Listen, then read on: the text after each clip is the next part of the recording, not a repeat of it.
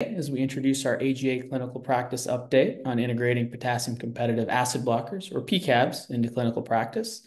I'm Amit Patel, Associate Professor at Duke University School of Medicine and the Durham VA Healthcare System. I'm fortunate to be accompanied by my co-author, Dr. Loren Laine, Professor of Medicine and Chief of Digestive Diseases at the Yale School of Medicine. Dr. Laine, what should clinicians know about PCABs? PCABs are a newer class of anti-secretory medication that may provide more potent acid inhibition than proton pump inhibitors, PPIs, Importantly, unlike PPIs, PCABs do not need to be dosed before meals. Compared to PPIs, PCABs have a more rapid onset of action and can provide more prolonged acid inhibition. In the last couple of years in the US, a PCAB has been approved for H. pylori therapy, treatment of erosive esophagitis, and most recently for non-erosive reflux disease. So clinicians should be aware of these medications. Dr. Patel, when should clinicians consider the use of PCABs in patients with GERD? In the setting of factors like medication availability and costs, clinicians should generally not use PCABs as first-line therapy for all patients with non-erosive reflux disease or milder erosive esophagitis, that is, Los Angeles grades A to B at the present time.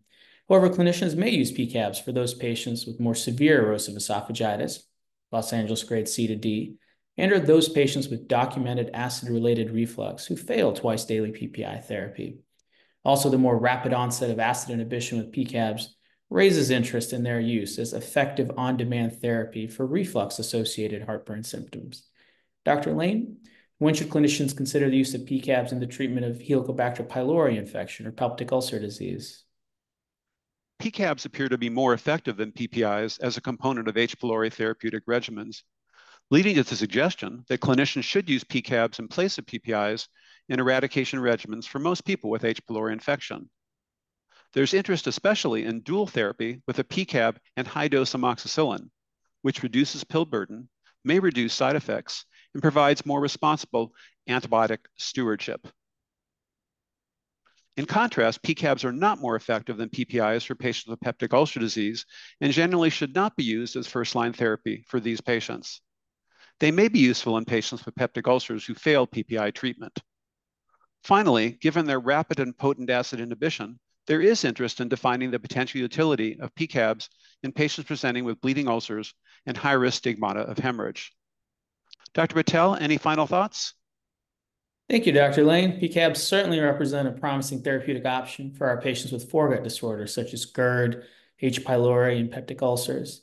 With that said, we should understand the clinical implications of the benefits of PCABs versus PPIs as well as factors such as dosing, costs, availability, and safety data.